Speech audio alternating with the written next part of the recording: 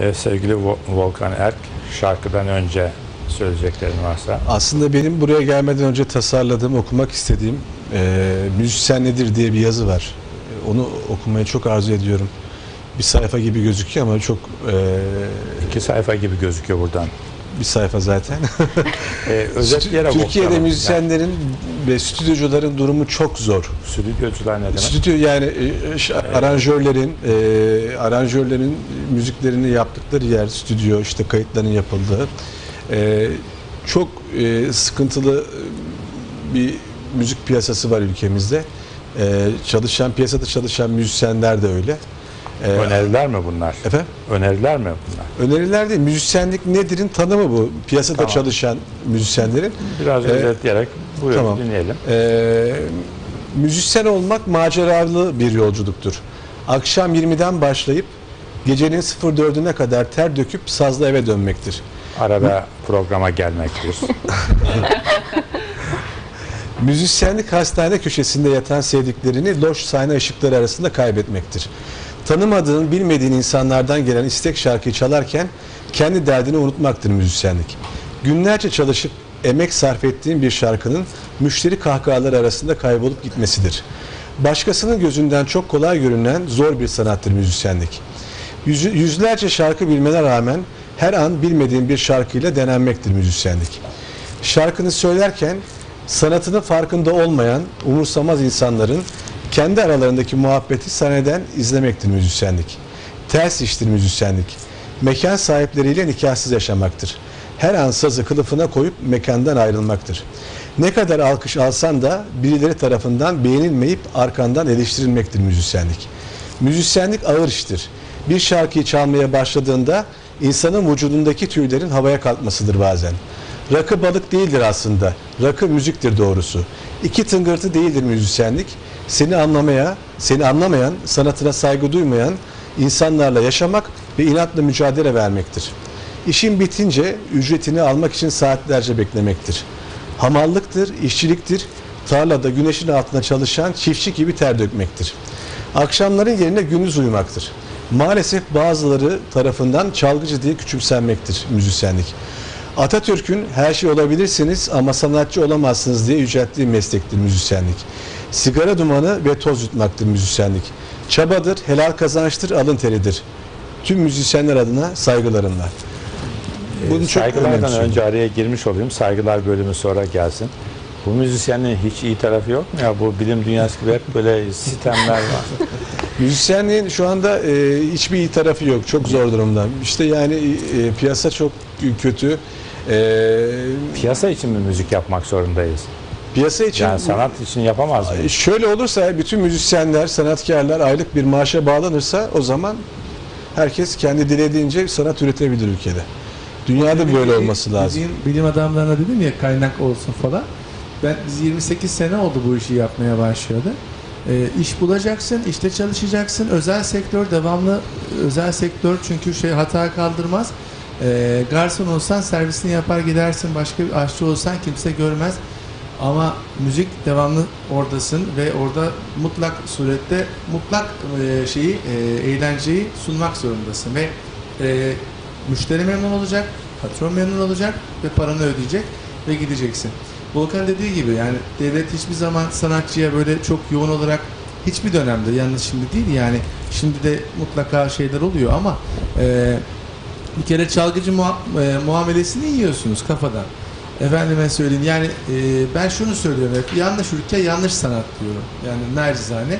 Çünkü bizim ülkemizde sanatçı sürünsün isteyen bir bir şey var yani bilinçaltı var. Ama Bunu çok niye- kazanan çok ünlü sanatçılar var. Mesela Ay şu- Tarkan diyelim. Yani E, Tarkan bir yılbaşı kişi yani gecesinde işte. bir şey yapıyor. Üç dünyanın kişi. parasını alıyor. Yani herkes mi bu ortak sıkıntıları paylaşıyor? %98 öyle. Yani belediyelerde de bu konuda çok büyük sıkıntı var. Şimdi bahsettiğiniz bazı sanatçılar e, orkestrası haricinde 100 bin TL alıyorlar. E onlar belediye nasıl alıyor? Yani birkaç kişiyle mi sınırlı bu sadece? birkaç Evet tabii birkaç Yani kişiyle meşhursa- sınırlı, sınırlı. Mesela şimdi Siz de meşhursunuz. İşte ha, sayenizde olduk şimdi ama belediyelerde mesela e, hepsini tabii şey yapmıyorum. Çok değerli belediyeler de var. Ba- Başkanına göre adam mesela işte diyor ki ben diyor "dok- bir yere gittik şimdi söylemek istemiyorum. Gene de muhalif kanattan bir tane şey isim vermeyeceğim. Diyor ki ben diyor cerrahım arkadaşım diyor. Ben diyor şeyim ben diyor burada festival yapmıyorum diyor. Dedim o zaman niye belediye başkanı oldun sen? Ne işin var senin burada? E git o zaman cerrahsan o zaman git senin işin yerin ameliyat. Ameliyathane sen git o işi yap. Herkes işini yapmadığı için o da gitmiş siyasete girmiş oradan belediye başkanı olmuş. Bir başkasına gidiyorsun telefon açıyorsun adam seni telefonda azarlıyor. Yani sen şu şu tandansta konuşan bir adamın kaç kişi şey yapabilir mesela? Efendim sayın belediye başkanım işte şöyle şöyle oldu işte şu şu festivale katılmak istiyoruz falan. Adam telefonda bağırıyor ya diyor ki benim diyor vaktim diyor şey diyor bilmem ne diyor ya. Ama yani bu sanat daha üst bir kurum değil mi? Sanatın var olması, sanatçının da yaşaması için belediye başkanlarının inisiyatifine mi muhtaç oluyoruz? Tabii öyle. E şimdi Öyle, tabii yani öyle. oradan bir, ta- e, bir iş alacaksınız yani iş, bir bir yerden iş almanız lazım. Diyelim ki bir festivale katılmak istiyorsun. Ben Türkiye Cumhuriyeti'nin vatandaşı değil miyim? Benim günahım ne? Ya Atatürk Bana belki de onu mi? kastetti. Herkes sanatçı olamaz diye. E, Artıya sanatçı Herkes olamaz ama iş işte yani o zaman ne oluyor? Yanlış ülke yanlış. Mesela yurt dışında bazen git yani gittiğimiz zaman falan mesela Elvis tribute şovlar yapıyor Volkan.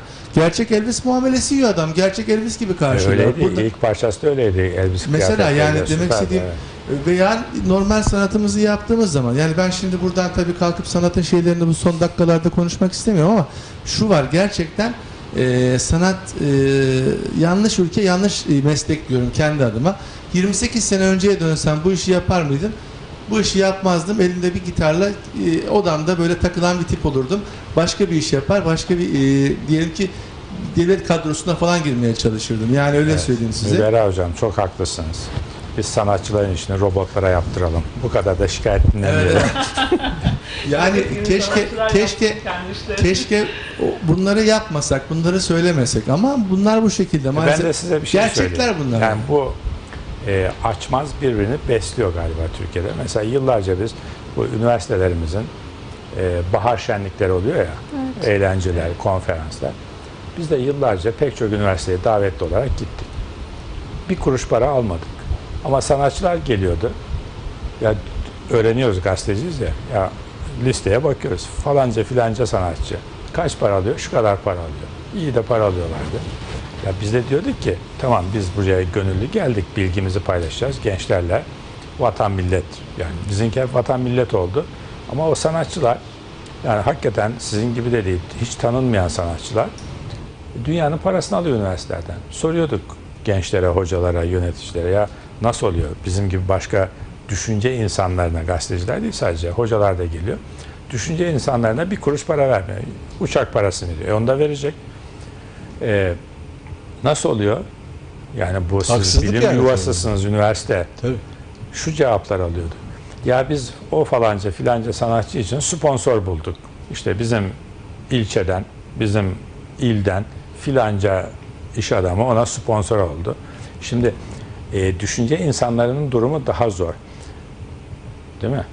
Yani demek istediğim aslında bunlar yani ülkede bir sürü sorun var. Ya şimdi diyorsunuz ki işte müzisyenlerin sorunu. Yani evet müzisyenlerin sorunu. Abi, Bana derseniz ki Hakan Bey yani bunun iyi yanı yok. Ben size hikaye yazarım burada. O kadar güzel şeyleri var ki derim. Bir dahaki yani. sefer o sayfanın arkasına sanatçıların güzel yönlerini yazalım. Yani- Zaten Atatürk'ün herkes sanatçı olamaz lafı hepsine bedel. Evet, tabii bedel hepsi. Atatürk'ün ne güzel lafları var. O çok e, ileriye görebilen, e, çok e, önemli bir e, düşün, düşün adamıymış aynı zamanda bu kadar özelliğin arasında ve bu lafa bakar mısınız yani e, bir kere ilimler için hayatta en iki- hakiki mürşit ilimdir diyor ve sanatçılar her şey olabilirsiniz ama sanatçı olamazsınız diyor. Bunları 1920'lerde söylemek e, şey ister yani hem e, büyük bir zeka hem de İleri bir o kadar da ileri görüşlük ister. Evet. Ama bugün baktığınız zaman e, işte dediğim gibi herhangi bir yere gittiğiniz zaman direkt çalgıcı muamele istiyorsunuz. Sizin background'unuza bakmıyorlar.